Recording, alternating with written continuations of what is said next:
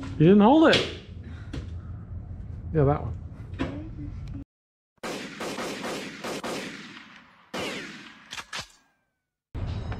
Howdy. Welcome back to the freshest of fresh episodes. Today we're going to be working on the vert again, as per usual. Um, we did make a bit of progress uh, last night.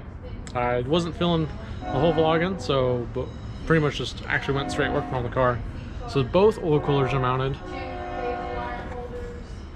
Girl Dak has been here cleaning. You need this? No, that's fine. Yeah. May I help you? What are these for? always working with metal. That goes on my PP. So Girl Dak's been here cleaning. Caulk ring. and the oil coolers are on. I'm gonna be doing some plumbing. Brandon's gonna be finishing up that tub, hopefully today. We'll see. I don't know. Yeah, you cut a lot of this. Yeah, I, I left a lot of space because I think the like the the line that we made, yes, mm-hmm. because what we made with the chalk Yeah. was literally like I cut the outside line of it, Yeah. which was it was the outside line of mm-hmm. Yeah. that this. Yes. So, but I'm going to be plumbing the oil coolers along with the thermostat and all those lines. So when I'm done, I can start helping Brandon a little bit more with the tubs. And then what else? Um, once we finish the tubs, we can put the cooling package back in after Girl Dak paints. So hopefully, today's Tuesday. Hopefully by Thursday, the car will be on the ground, painted, um, then we put the cooling package back in, which will only take like, I don't know, 30, 45 minutes at, at most. And uh, then the car should be ready to go. I need to switch it back to gas and yeah, everything should be good. Moving right along.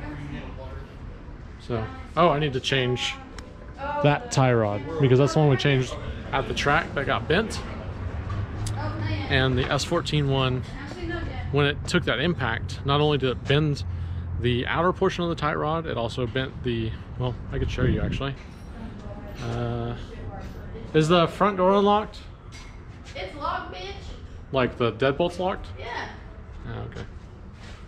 I was trying to go around this trash can instead of.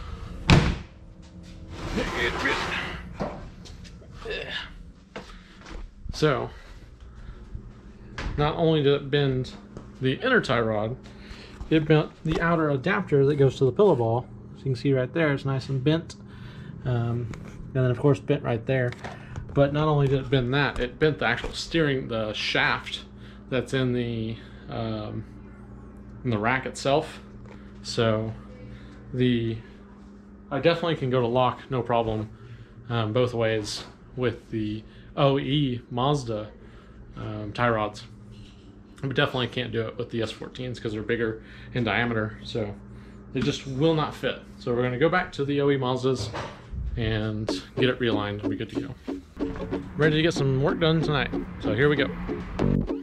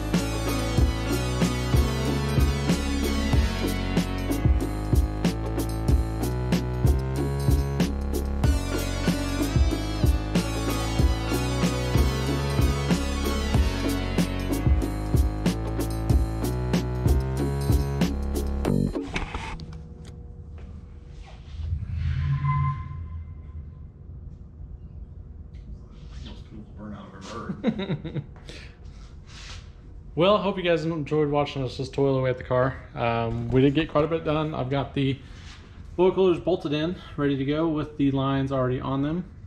Um, pretty happy with the way it turned out. Uh, the thermostat, I kind of changed how I was going to do it. I was going to have it upright instead of parallel with the car. Um, but this one goes right underneath, goes up into this oil cooler right here. Comes right in a nice, sweet 120 degree angle. If I learn how to talk. And we come over. This is pointing the right place. There we go. All the way over to that one, and then out the other side, back into the thermostat, and then into the motor. I have that line right there, ready to go from the thermostat to the back, and then that one, that's one that feeds. And Brandon's been over here working on the tub, so the filter's kind of mocked up in place of how I think it's going to go, along with this piece that we kind of bent. Um, it's a weird football shape. Uh, we toyed with the idea of doing, and it looks like it's going to work out. I'm definitely going to take some metal working to get it in place and perfect, but pretty happy with how it's going to come out, especially when there's going to be um, I'll show a picture of it real quick, but the bumper on the car, there's a nice little flash to pass lens right here that doesn't have the, the lens in it. So it should come right in through here, through that square hole, or rectangle hole, right in, ramp up on this, and straight into the filter. So we should have a nice, clean, fresh source of air. And uh, the water lines are done on the turbo. Everything's hooked up completely, actually. So hopefully we don't have any leaks, but I think there is going to be one. But I'll address that when we get there. Uh, I was going to toy with the idea of putting the uh, manual regulator into this door, but I actually put direct power to it, and it was uh, working just fine. So I think I'm going to leave it the way it is.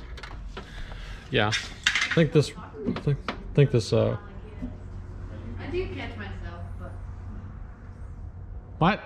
nothing. Talking shit. Talk shit. But I think this one is working just fine. So I'll probably do a kind of like a hardwire kit for it and do an on off switch that goes directly to it, feeds its own power. So that way we can um, have a more faster working window instead of it going up at uh, one fart per second. So perfect.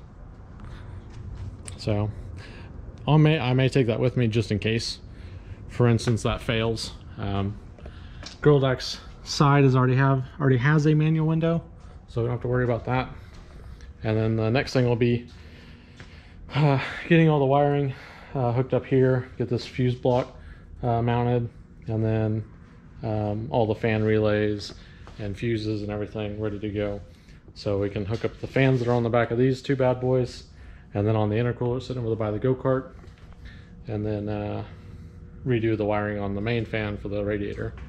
But other than that, uh, other than the long things, long list of things I just listed, it's we're, we're not too far off. So uh, Wednesday may not be on the ground, but I definitely think Thursday's doable. At least back on the ground, and then I'll have to run out to Chad's and get the bumper because I really don't want to drive out to Chad's without the bumper on the car because I feel like the fiberglass fenders. Out there, ding dong. He needed it to mock up the. Yeah, so I can mock, mock up the bash bar. He had to CNC bend that pipe so it fits perfectly. Um, Yeah, so that way it looks nice Yeah, if the bumper matches comes off. Inside of the bumper. So it acts as a a brace that holds the bumper up, so it's not stressed by this anymore. Yeah, less anxiety. So, yeah, and then obviously this weekend um, need to I thought that there was no trash. uh, Saturday. Um, I'm gonna run over to Chad's early in the morning. I'll vlog. I will vlog part of that, um, but just getting the bash bars made. That shouldn't take very long. Hopefully, uh, getting the back bumper off um, shouldn't take long at all. And then just a straight bar with a hitch in it, which I need to go get a hitch, and then get it tuned early next week. Well, that that'll be the tune and the dyno. I'll do it all at once. So, well, I mean, I'll get it switched over to gas probably this week, and then get it going. But the dyno portion of it will be also be the main tuning portion of it. So So am I repainting all this before you put the stuff in? Yes. Okay, thank heavens. Yeah. Be easy that way. Yeah. It Yeah, won't that take very long. It's, it's good to seam seal and paint that one already, so I was gonna Yeah. seam seal it earlier, but no one has a caulking gun. I'll bring one.